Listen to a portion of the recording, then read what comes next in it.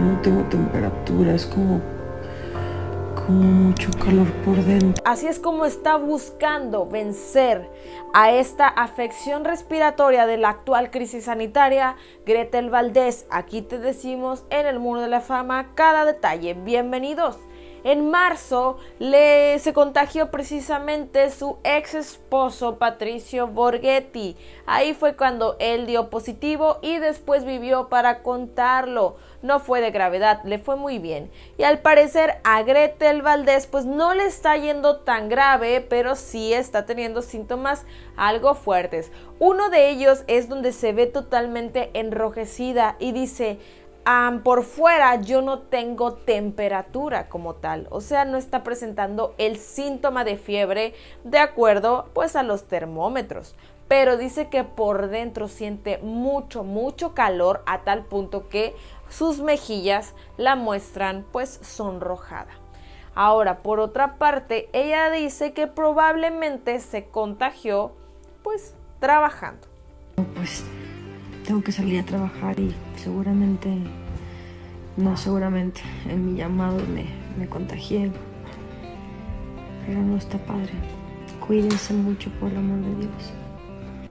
Gretel Valdés no ha dicho si su único hijo Santino pues está ahorita actualmente con su papá mientras ella está en aislamiento, no se sabe del paradero del niño como tal, pero pues bueno, por lo menos puede hablar ante una cámara, puede respirar, no está intubada, no está nada, este, pues más que con los síntomas que son parte de la enfermedad y por supuesto tomando sus medicamentos, pero todavía la vemos bastante fuerte y esperemos siga así y se recupere pronto, pues es que ya le toca, ya le toca que no le esté lloviendo sobre mojado. Recordemos que no ha sido un año nada fácil para Gretel Valdés, pues sufrió el hecho de Leo, su actual pareja, quien casi va a prisión, pero pues lo ayudó con un millón de pesos para pagar por ahí unas multas de acuerdo a cosas del pasado de Leo que tenía que aclarar, ¿no? Y fueron cosas respecto a dinero mal utilizado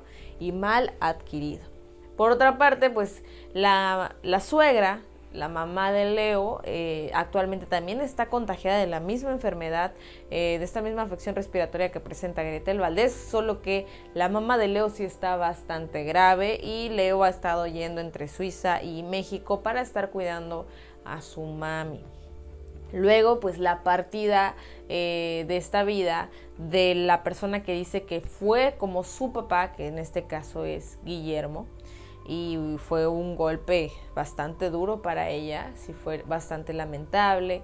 Luego perdió a una amiga, entonces pues son varias cosillas, varios detallitos y hoy se encuentra en cama sin poder trabajar actualmente.